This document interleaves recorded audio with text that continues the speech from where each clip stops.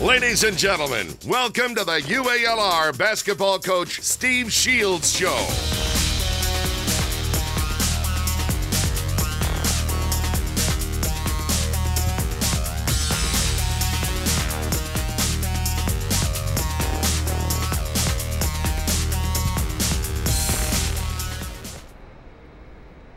Hi, everyone. Welcome to the Steve Shields Show. That's the coach. I'm Gary Hogan. Welcome to our last show. This is it for the year, and hopefully, we go out with a bang in the tournament that comes up this week in New Orleans. We will be uh, the seventh seed playing Georgia State um, on playing uh, South South Al- Alabama. I'm sorry, Alabama. at 7:30 Thursday night. 7:30 on Thursday night. I just said that. You're right. Okay. And as, as you said initially, you're playing Georgia State. Well, I, You are playing I, I screwed up on Alabama. the Southwest Georgia I- State. Your prep work goes a long Well, way. it does that, but I was thinking of the women because the women play Georgia State at 11:30 Wednesday morning. That's okay, right. I just wanted to make sure right. we throw the women in there too. I have to deal with this all the time, folks. It's not my fault. Anyway, let's talk about Louisiana. We played them Thursday night to finish up the season. Pretty good game. They hit some threes though, and uh, that kind of took us out of the game. That's right, Gary. And they're they're a very good team. They're they finished uh, third, I believe, or fourth. They they'll have a bye in the tournament. They're a Right. big physical team with Shawn Long, who's one of the premier uh, big guys in our league. They out rebounded us 18 in that game, and that was very important to the outcome of the game. We got close several times in the second half. We actually took the lead uh, midway through the second half, but weren't able to come away with the win. We ended up losing 75 69 uh, last game of the year, but we got some help around the league that night uh, with some teams losing that we needed to lose uh, in or- order for us to get in, in the conference tournament. Okay, let's take a look at those highlights, and uh, they're coming right to you. There they are. Here you see first basket of the game. Mareik Isom steals baseline out of bounds goes down and dunks it. Here you see Roger Woods facing up, penetrating pitch. Roger had a nice game with six of eight from the floor. Had 17 points on only eight shots. Here you see him knocking down a three. Roger can do that every once in a while, can't he? He can step out and shoot. He shoots just well enough from three-point line to to have guys have to honor him out there. There you see 13-11. That's Shawn Long right there at the rim. There you see Gus Leeper with the offensive rebound. Put back, good play, getting back in transition. Josh Hagins finds Roger Woods. Mareik Isom knocking down the three assists from Josh Hagins. You see we're down two with 5.40 to go in the first half. Hagins with a nice move on the two dribble pull up. There you see Roger being very aggressive on a much bigger Shawn Long coming in transition. Hagins steals the inbounds. Good job finding JT Thomas. There you see halftime, we're down five. Good defensive rotation. Hagins with the deflection. Reese Hill comes up with it. Finding Roger coming in transition. Good job finding Reed, spotting up for the three. It's a nice play by JT, being aggressive, getting it to the paint, finding Reed who shot fakes makes a one dribble pull up. By Hagins. Same thing that we were just talking about with JT. That ties the game 37 all.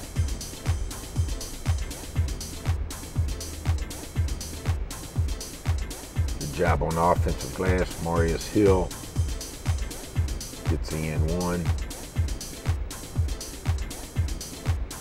That's an excellent job by Gus Leeper. Those things that go unnoticed, switching his feet on the step-up ball screen. JT finds uh, Mo Isom, knocks down the three.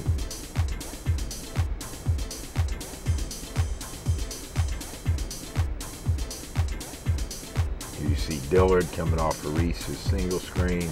Does a nice job driving the ball, finishing the play at the rim.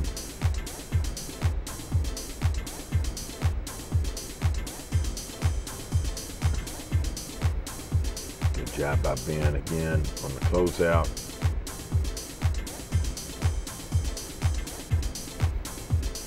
Hagins does a good job coming off of Roger Woods ball screen.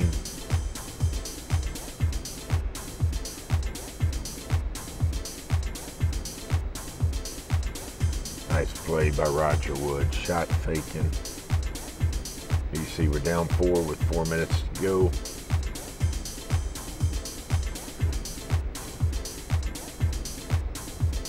Good job by JT on the shot fake.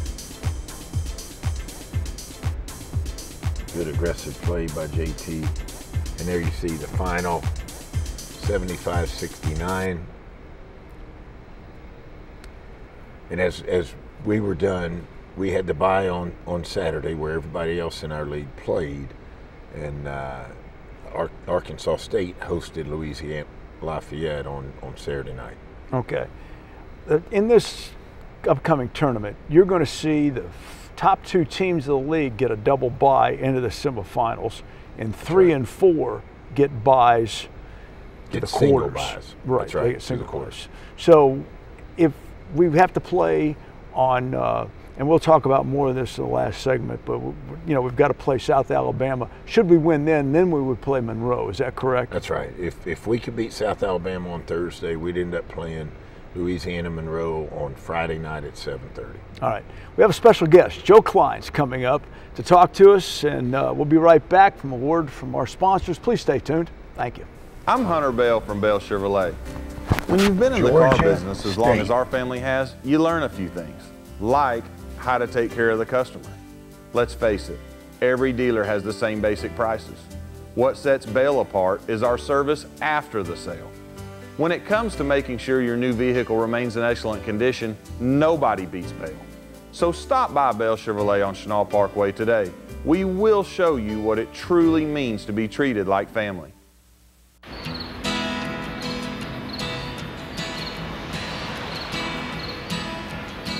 Did you make a wish? Of course.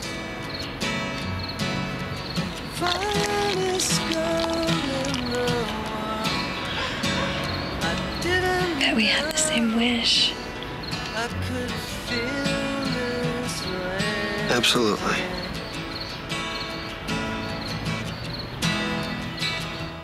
When did too big to fail replace too smart to fail? When did trend overtake truth? When did putting clients first stop being second nature? For us, never. You can't take a risk in any investment that if it goes wrong and you lose it all, that you endanger the ability of the firm to survive. And that's really what Wall Street forgot. So when do you want to learn more about Stephens, one of the country's most successful investment banking firms?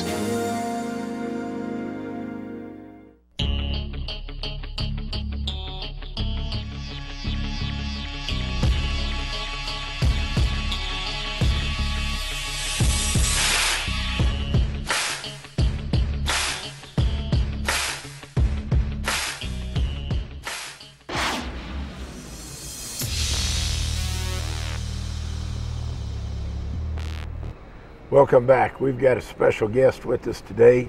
No introduction needed, obviously, but Joe Kleine being with us in his uh, eighth year with us, and we are fortunate to have you on our staff. Thank you, Coach. It's good to be here. I, I mean that, Joe. And you know everything that you bring to the table for our guys. I don't know another staff out there in the country that has a guy who won an Olympic gold medal, played 15 years in the NBA, won a uh, championship ring with the Bulls. And I, I think about some things along the way, and I want you to take and run with this. And I, I think our, our people out there would be interested. Everything, the passion that you bring to the table every day in practice is much like the passion that people saw when you were a player. And talk a little bit about Mareik Isom and his development with you.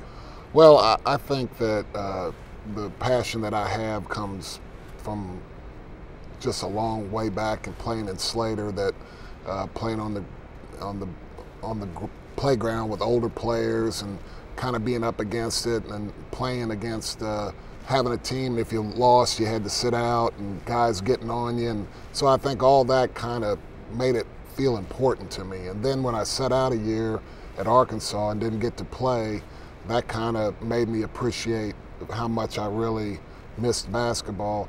And, uh, you know, I just try to come every day. I feel very blessed to be here. I feel very blessed to be doing something that I love to do. And I try to give it all I have uh, for the guys and, and, and, and, for the staff and, uh, and for the city. And so I, I feel just really fortunate and really want to give back to the community and to this school.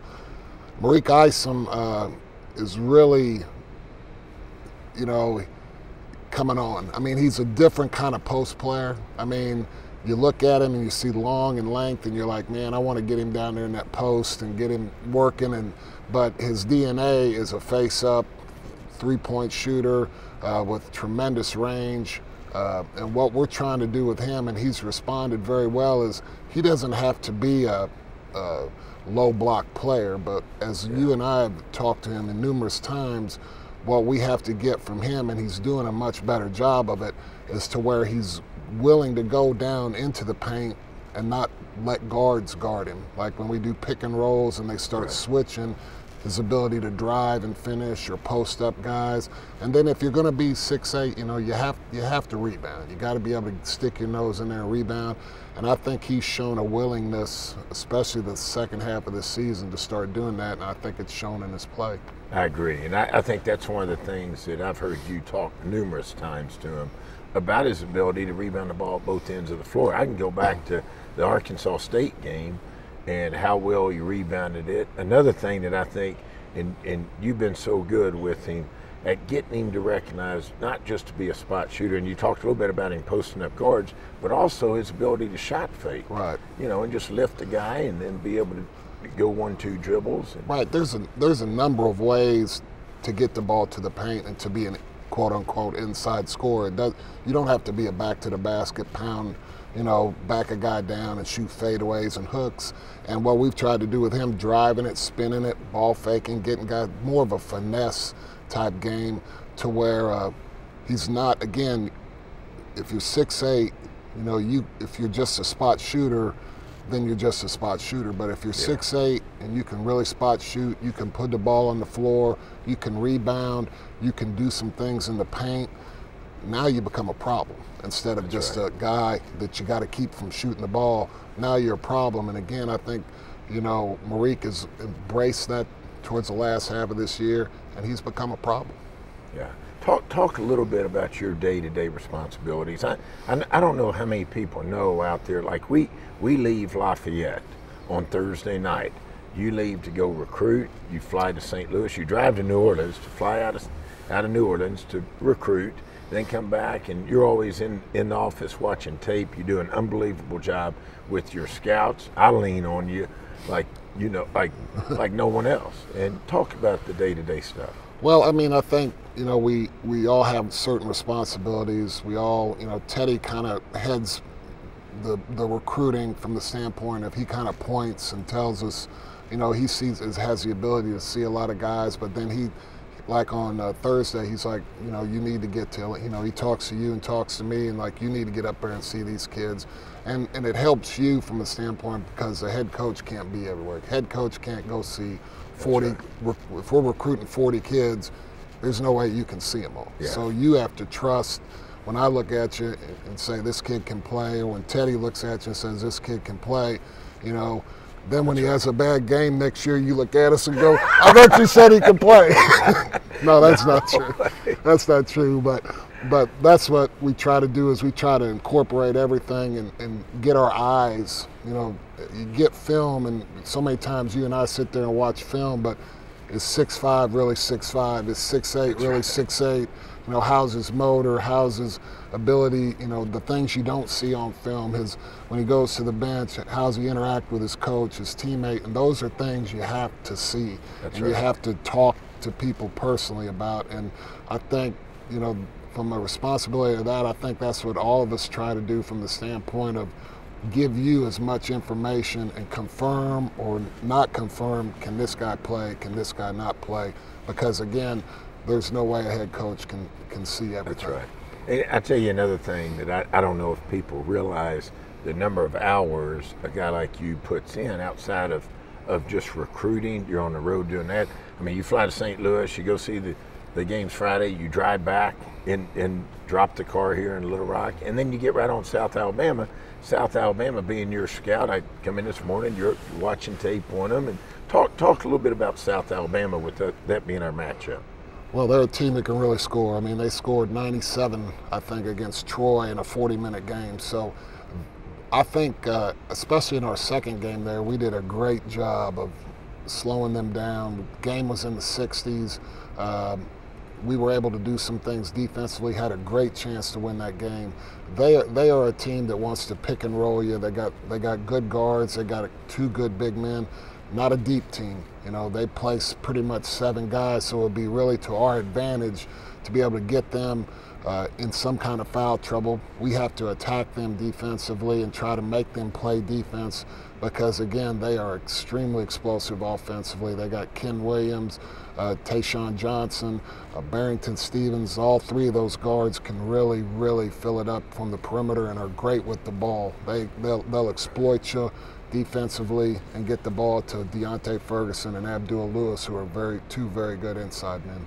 Right. We played, as you mentioned, a two-point loss down at South Alabama, and we also had a three-point loss here at home to them. And as you, you said, they beat Troy on Saturday night I think 97, 94 or something right. like that to finish out the season. But it's great having you here with Thanks, us. Thanks, Coach. It's good to be here, man. Appreciate you All very right. much. Let's get a word from our sponsors, and we'll be right back. Okay, so it's a little off the beaten path, but the butcher shop is definitely worth the find, and your taste buds will agree. Choose one of the butcher shop's thick cuts of lean steak and cook it yourself. Watch it sizzle over the open flames on the grill, or let their chef cook it for you. Either way, it'll be the most taste-tempting steak in town. The butcher shop has other delicious menu items too, including chicken, salad, pasta, and more. The butcher shop, we're a lot more than just great steaks. Put them hands up. Yeah, put them hands up. Amazing, amazing, amazing, so damn amazing. To my brothers and sisters, mom, pops, and my daughter, nieces and nephews, salute all y'all to those I can't get to. Amazing, amazing, amazing, so damn amazing. We live for days of no crime. We need more scholars, deep minds, less drug dealing, more leaders shining, plus more father figures, less time in. It's so real, it's cold here. No feast for comfort, it's so weird. Let music bring back the soul, yeah. Love all people, inspire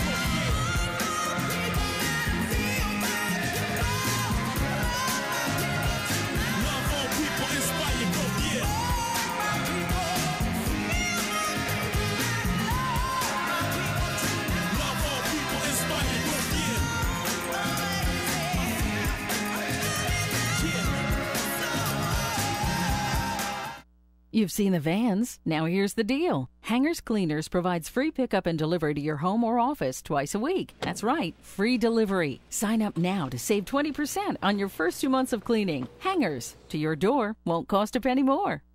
Independence, the ability to think freely. It allows you to tell truth from trend, to put clients first, to take the long view.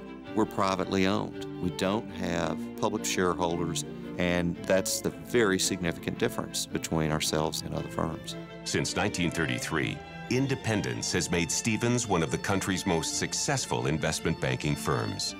Feel free then to learn more about us.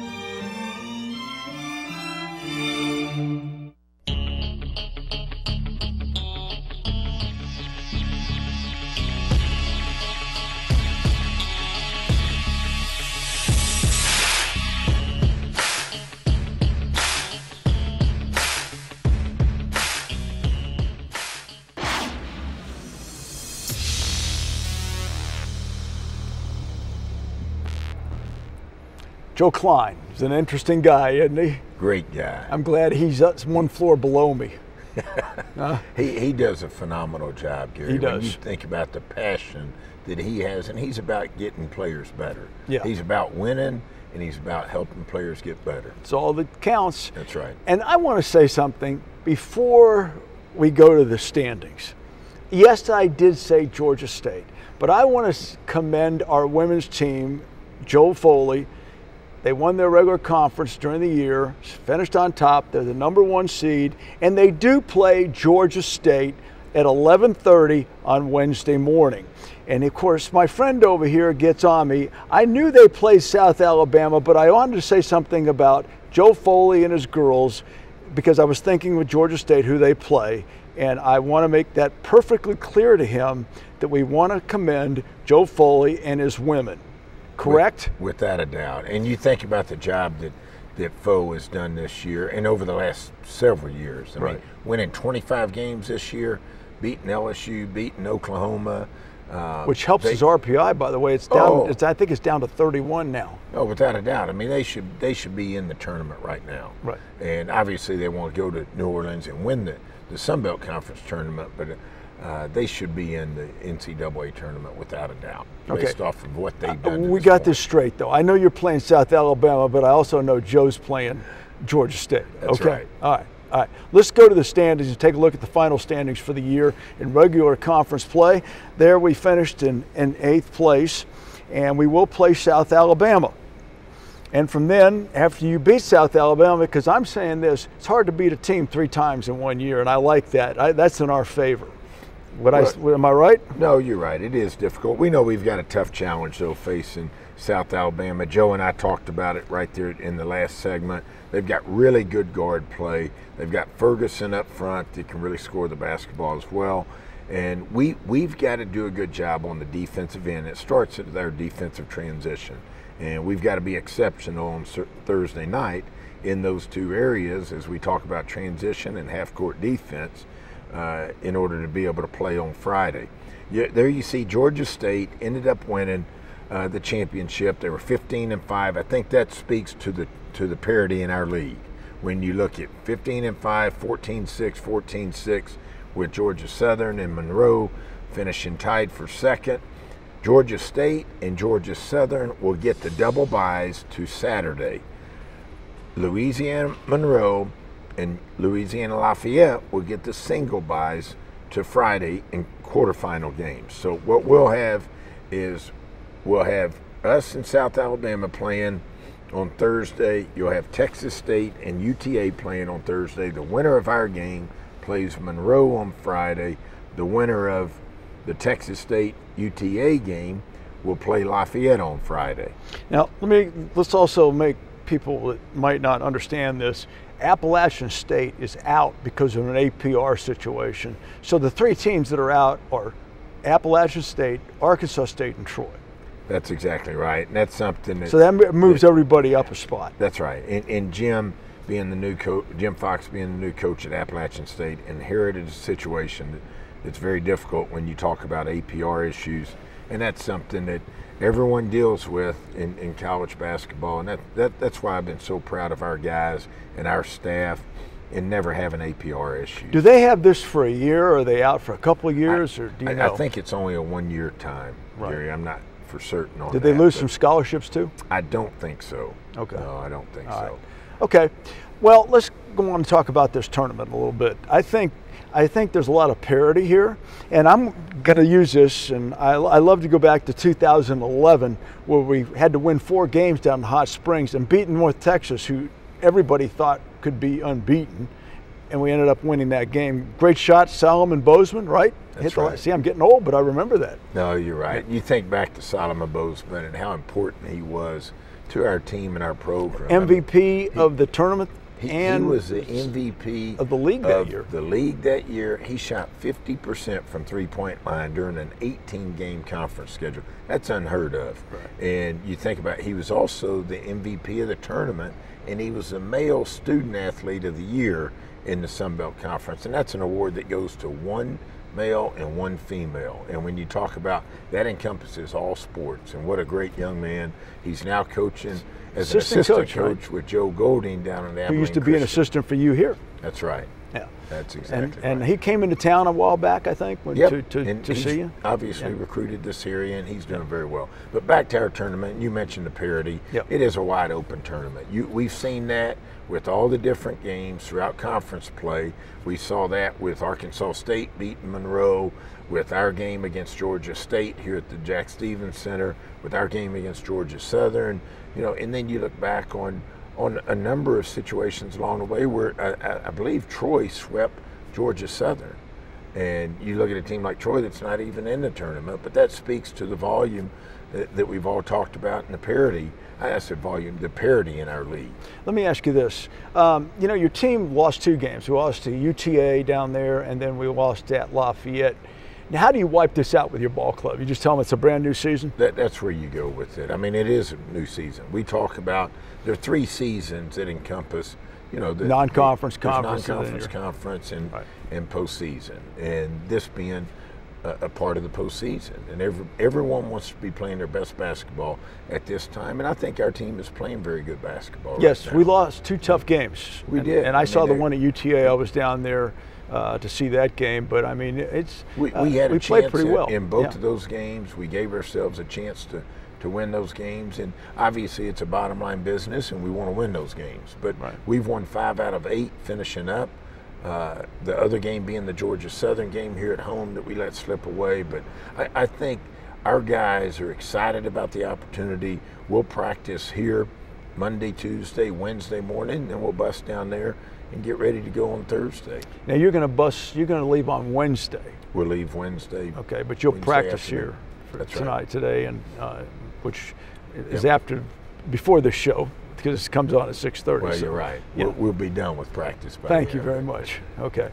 Hey, thank you very much for watching. It's been a great year, and we want to see this team go through the tournament. We hope Joe Foley's team goes through, and we got two winning teams coming back here at the end of the week. You have a good night and the rest of the week. Thanks for watching.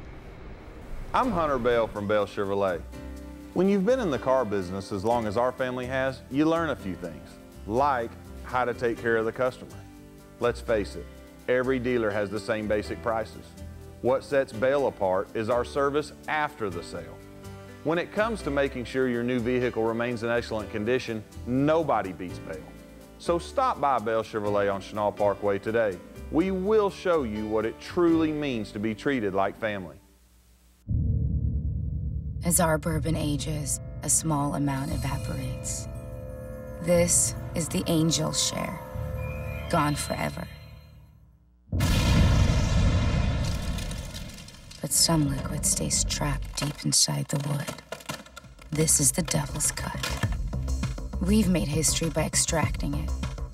A richer, full flavored bourbon. Devil's Cut from Jim Beam.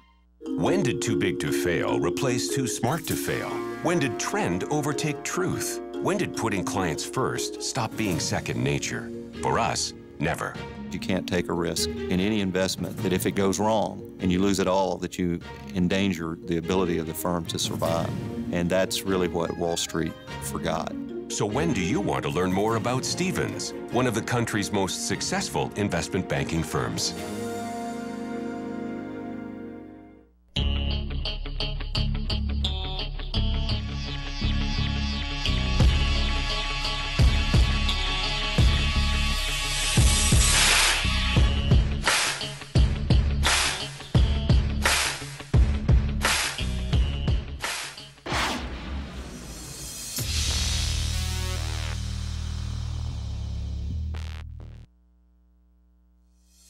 The Steve Shield Show is brought to you by Bell Chevrolet, The Butcher Shop, Dillard's, Hangers Cleaners, Heineken Beer, Jim Beam, New Amsterdam, and Stephens Incorporated.